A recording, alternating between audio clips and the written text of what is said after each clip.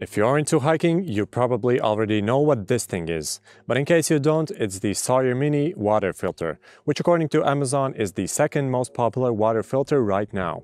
I've owned the Sawyer Mini for about a year now, and it's my go-to water filter whenever I'm hiking. Essentially, this allows me to never carry more than one or two liters of water, regardless of how long my trip actually will be. But before we begin, we have a more in-depth review on our site hikemuch.com with all the buying options. You can find the link to the full article in the description below. Also, if you want to skip to a specific part in this video, pause the video right here to see the table of contents. But for now, let's get right into the review.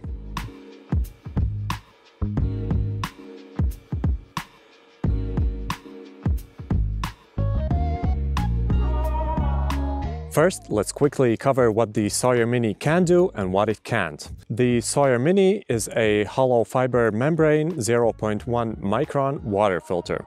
According to their specification, it filters 99.99999% of all the harmful bacteria and other particles that are larger than 0.1 microns.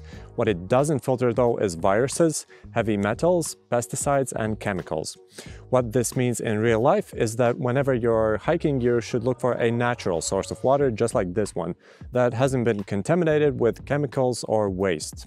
For instance, uh, safe sources could be a puddle, a river, a lake, or something along those lines. Basically anything that isn't near a factory or a large city. In terms of taste and color, the Sawyer Mini removes all taste from green matter, bacteria and dirt. If the water source is heavy in metals or minerals, it will still look a bit darker than usual after filtering, and also taste a bit different, but the water is still safe to drink. Another thing is that the Sawyer Mini can filter up to a 100,000 gallons of water before it needs to be replaced. I can basically guarantee that you won't filter that much water in your lifetime, so this thing will last a long time. The Sawyer Mini kit comes with the water filter itself, a syringe for backflushing the filter, a straw attachment for the filter, and a 16 ounce or 500 milliliter pouch. In addition to the original kit, I purchased a set of three 32 ounce or 1 liter Sawyer pouches. That's because the original 500 milliliter pouch was too inefficient for me. Whenever I'm hiking, I usually carry two 1 liter Sawyer pouches for contaminated water and one 1 liter bottle for clean water, so 3 liters in total. For this system, I recommend getting additional pouches, though you don't need to use the original Sawyer pouches.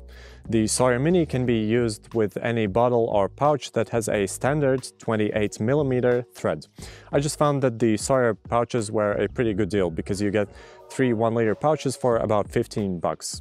The Sawyer Mini has two ends on it. The first one is for contaminated water and the second one is for clean water.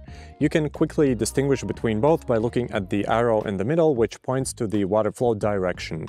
The first thing that you need to do is select a water source. I usually prefer to use cleaner water sources such as springs or rivers, but you can also use a puddle, a lake or something similar. For instance, here I'm in a middle of a swamp and this is a pretty clear water source. The next step is to actually collect some water. You do that by filling the water pouches with contaminated water. I found that it's much easier to fill these pouches in fast-flowing water, but you can also use them in still water sources such as this one. One tip is to use your mouth to blow up the pouch before attempting to fill it up just like this. Just be sure to clean the cap off first if the water source is very contaminated, because you don't want any bacteria to get inside your mouth. After you've filled the pouches with water, the next step is to start filtering the water. You do that by screwing on the water filter to the water pouch, turning it upside down and gently squeezing the water filter. That's basically it, but there are a few other ways that you could use this water filter. The first one is to drink directly from the water filter. I usually do that whenever I'm near a water source for drinking as much water as I can before leaving. Another way is to skip the pouch entirely and use the straw attachment for drinking directly from the water source. Another way is to use gravity feed systems. You can attach one end of a hose directly to the contaminated end and the second one to a larger water container that's on top. Personally, I haven't tried these systems because they take up more space and I like to keep it on the lighter side whenever I'm hiking. And now let's perform a simple test. Let's see how well the Sawyer Mini performs with a very, very contaminated water source. I'll just quickly grab some water over here. I'll pour the dirty water in this glass over here so you can see how dirty is it. Now let's filter the rest of the water in the second glass.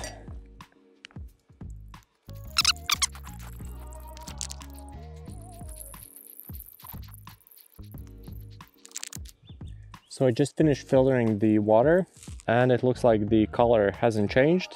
It might be some minerals in the water that the filter doesn't filter out. However, the one on the left looks much, much clearer than the one on the right. Now I'm going to go ahead and drink it. Okay, so now let's see how well... Oh, what's that?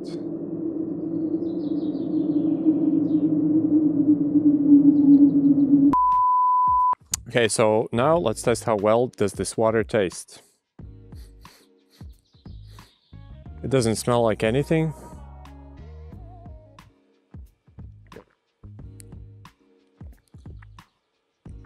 Tastes just like water.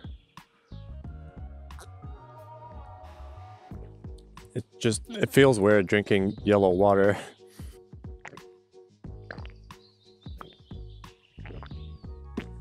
It's actually pretty good. Yeah, so yeah, a solid 8. if you're new to water filters, I'll quickly explain what backflushing is and why you need to do that. Essentially, whenever you're filtering water, all the dirt gets trapped inside the filter. After using the filter for a while, you'll notice that the flow rate of the filter starts to decline. That happens because it's clogged up and you need to backwash it. If you'll be filtering clean water, then I'd say that you need to backflush the Sawyer Mini about once every 10 liters. But if you're filtering very dirty water sources with much dirt and much larger particles, then you'll need to backflush it more often. I'd say about once every one to three liters. Personally, I backflush it after every use to keep the flow rate as fast as it can be. To backflush the Sawyer Mini, you need to fill up the syringe with clean water, press it tightly against the clean end of the filter, and then flush the filter with as much force as you can. You need to repeat that about three to five times, and then I'd say that the filter is pretty clean. After you're done, you need to get most of the water out from the filter. You do it like this. Use as much force as you can until there's no water coming out. And now let's talk about the flow rate of the Sawyer Mini. When I went online, I saw that a lot of people managed to filter one liter of water with the Sawyer Mini in about 90 seconds. For me, the best flow rate that I could achieve was one liter in every two minutes. However, to achieve a good flow rate, simple backflushing isn't enough. After about six months of using this filter, I noticed that the flow rate was becoming pretty bad, even with backflushing after every use. I measured that at that point the flow rate was about 1 liter of water in every 5 minutes. I found out on their website that Sawyer actually recommends cleaning the filter with hot water and vinegar every once in a while to restore a good flow rate. So I went ahead and boiled up some water, added a little bit of vinegar, about one-fifth of the hot water, and left it in there for about one hour. After that, I backflushed the filter with the hot water and repeated the process one more time. After this, my flow rate improved drastically, from about 5 minutes per liter to 2 minutes per liter. I guess there was some sort of mineral buildup inside the filter and the regular backflushing just wasn't enough. I've been using the Sawyer Mini for a while now, so now I'll go over some tips that I've gained over this time on using this water filter. First of all, let's talk about the pouches. I actually managed to burst the 500 milliliter pouch after about 5 or 10 uses. I was just filtering some water and suddenly the seam near the top burst open and the pouch was basically done. Later I found online that this is pretty common with Sawyer pouches. I also learned that you shouldn't put that much pressure on the pouch. Since then, I haven't burst any more pouches. You should squeeze them only tight enough to get a good flow rate and then stop, because more pressure won't improve the flow rate. Personally, I've found that it's very easy to filter water when the pouch is folded once in the middle. When you filter most of the water from the pouch and it's getting harder to squeeze, instead of folding it more times, unscrew the filter, blow some air in the pouch and screw the filter back on. Another tip is that the Sawyer Mini shouldn't be used in freezing weather. On their website, they say that the Sawyer Mini needs to be replaced if frozen. So if you'll be using it in the winter, you should always keep it in your pocket so your body temperature keeps it from freezing. Another thing that you should remember is that the flow rate isn't as good right from the start. The flow rate gets better once the filter is wet. Sawyer has said that the best flow rate is achieved only once you've already filtered about one liter of water. So my advice would be to stay patient and wait for the flow rate to improve, instead of squeezing the pouch harder right from the get-go.